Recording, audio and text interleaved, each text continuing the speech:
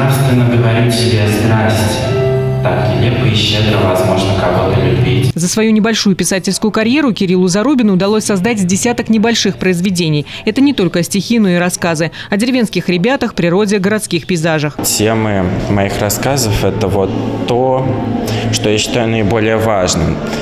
В основном, конечно, они очень завуалированные и непонятные, и даже мне иногда непонятные, но все же мои темы не пустословные. То, что Оренбуржье богато литературными талантами, точно знает в Москве. Главный редактор столичного издательства теперь вот сам приехал, чтобы лично познакомиться с местными писательскими светилами. Я приехал посоветоваться и поучиться у оренбургских коллег тому, как работать с детьми и как усилиями детей и их педагогов возвращать России ту великую литературу, которую, чего греха таить, за последнюю четверть века мы утратили. До перестройки спрос на детскую литературу был очень высоким. Интересных книг тотально не хватало. Они очень быстро разбирались. А в поисках утоления читательского голода взрослые записывали детей в библиотеке. В советскую эпоху издательская индустрия стремительно развивалась. Если до 91 года ежегодно выпускалось около 200 книг разных наименований, то в настоящее время издательства делают лишь 20 книжек.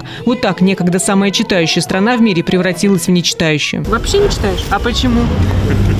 В книжный магазин только за тем, что в школе задали. Последние годы Татьяна Ларионова бизнес строит за счет в основном учебной литературы, хотя немного поклонников есть и у художественной. После пятого класса вот такие, да, любят всякие монстров, там, э, ужастики, иностранных писателей. Это наши как-то не очень пользуются популярностью. Сейчас многие издательства, чтобы привлечь интерес к детской литературе, готовы идти на разные ухищрения. Порой содержание некоторых книг заставляет краснеть даже взрослых. Вот, например, некто Савелий Низовский рассказывает детям, как легко и просто глава государства может сложить полномочия и уйти в девочки. Или вот пособие, обучающее малышей, как отправить в рай ежа. Такие сомнительные опусы, по мнению Льва Пирогова, уйдут, если удастся вернуться к нашим изначальным ценностям. Ведь человек, читающий высокую художественную литературу, способный образно мыслить, наверняка очень хороший специалист в любой сфере. А изменить мышление столичный гость намерен с помощью юных писателей через детский журнал для взрослых. Для детей позитивный взгляд на вещи естественен.